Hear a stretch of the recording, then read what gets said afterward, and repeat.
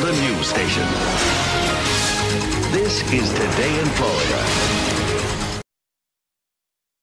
You are watching Today in Florida with John Turchin, Beatrice Canals, Christine Cruz, and Amy Murphy with weather.